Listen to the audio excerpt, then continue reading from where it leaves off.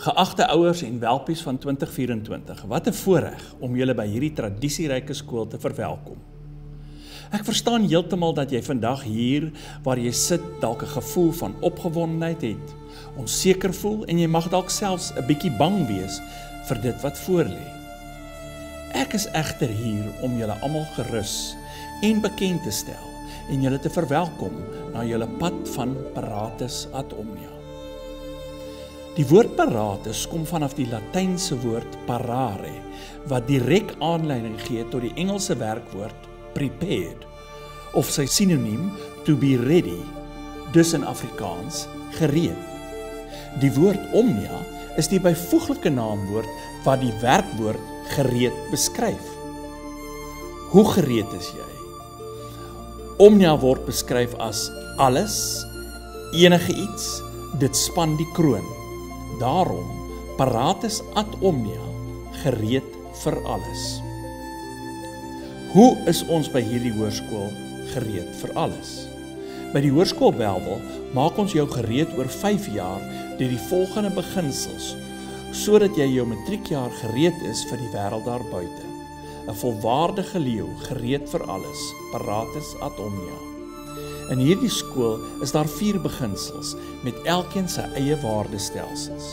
Die vier beginsels is uitnemendheid, integriteit, medemenslikheid en diensbaarheid waarvan jy die hele week gaan leer.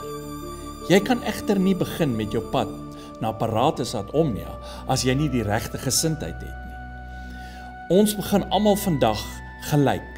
Niemand word hier hoër geag as iemand anders nie. Elke persoon is uniek en moet deur die skool en deur elkeen van julle so hanteer word. Jy begin vandag jou geskiedenis by die skool skryf. 'n Skool wat vir jou die wêreld daar buite gaan oopsluit. Wat vir jou legio geleenthede gaan bied op akademiese, sport en kulturele gebied. Jy moet net vandag inkoop in ons palan van Paratus ad Omnia, gereed vir alles.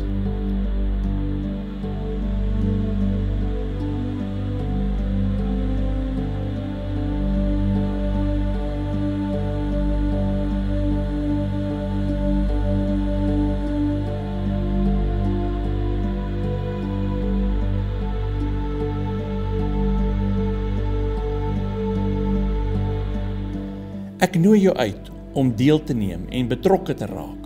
Al het jy dit nog nooit gedoen nie. As jy 'n kultuurpersoon is, probeer een of ander sport. En as jy 'n sportpersoon is, kom probeer die orkes of koor. Vir elkeen van julle is daar 'n spesiale plek by die skool. Ons moet egter iewers begin. En ek begin vandag met medemenslikheid. Jy kan tog nie wil deelneem en opgewonde wees as jy nie 'n medewelpie ken nie en by die hoërskool Belwel doen ons dit op 'n spesiale manier. Ons groet altyd deur respek te wys. Dus staan ons vir op vir elke iemand wat ouer as ons is. Ons is nie agteraf nie. Ons is openlik en daarom groet ons met twee hande. Ons ken die persoon by naam want ons stel belang in elkeen wat hier skool gaan. Vanoggend was maar 'n klein poging om jou aan die tradisies en waardes van Hoërskool Belwel bekend te stel. Baie welkom by hierdie waardegedrewe, tradisieryke en passievolle skool. Ons is opgewonde om saam met jou die 5 jaar pad van 'n welpie na 'n volwaardige leeu te stap. Paratus ad omnia.